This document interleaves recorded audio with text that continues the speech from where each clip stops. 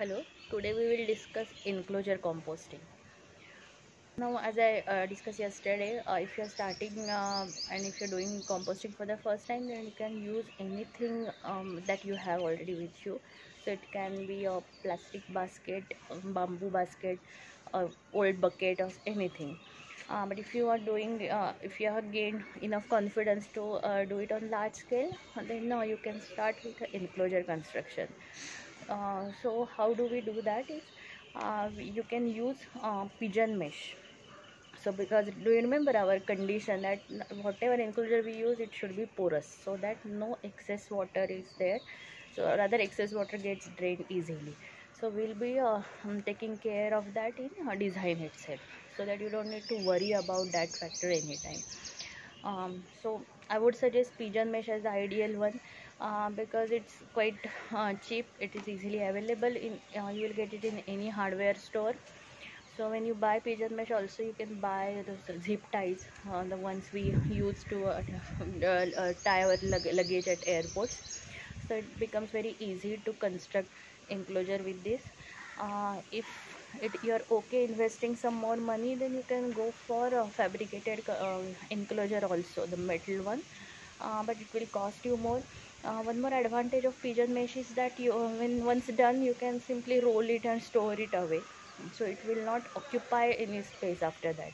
That is not the case with the uh, fabricated ones. Uh, they will occupy whatever their volume is that um, same volume will be occupied anytime whether there is enough uh, leaves in it or not.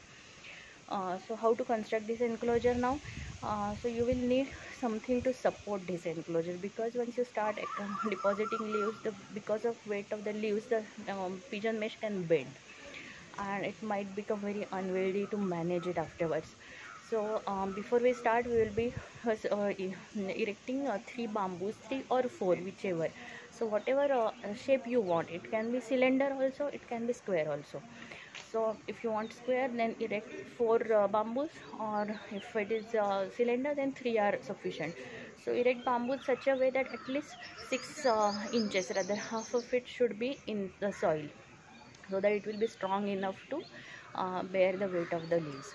So that's how you erect three bamboos and then just you have to wrap around the pigeon mesh. And then uh, you uh, secure that pigeon mesh to the bamboo using zip ties and that's it. Your enclosure is ready. Uh, then uh, one more thing you can do. You remember the disadvantage of uh, pile composting that we discussed that uh, the um, lowermost layer will be the one where compost will be ready first. And it's very difficult to harvest that ready compost from the lowermost layer. So here what will we do? So just uh, cut the pigeon mesh at the uh, bottom. Just uh, take a cut of one feet. Hmm, and um, uh, two cuts of uh, one foot and there should be one foot distance between these two cuts. And then uh, right now at the beginning start tie that with either with zip ties or with any rope. And afterward or any thread.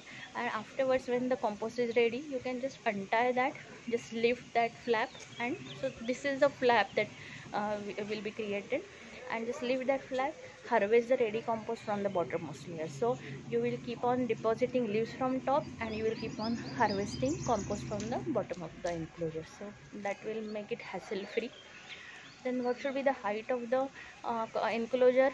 So it should be uh, height should be such that we can easily deposit leaves in it. We can easily add culture and we can easily water it. So 3 3.5 feet is um, comfortable for any average person. And then um, shape I said it can be anything.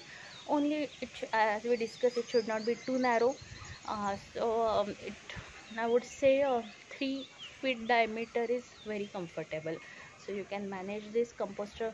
Uh, the enclosure also doesn't become uh, um, very uh, what is it uh, unwieldy uh, it should not be too large it should not be too narrow. So that's all actually.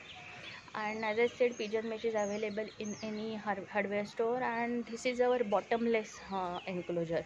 So the, uh, our organic matter is always in contact with the soil at the bottom. So soil helps in two ways. One as i told you microbes are present in the soil so we get that help from the soil. And if at all there is excess water already our um, enclosure is porous but again uh, the uh, soil is also able to you know, absorb that excess uh, water so that's all for interior composting. Tomorrow we'll discuss a few more options in that. And happy composting. Thanks.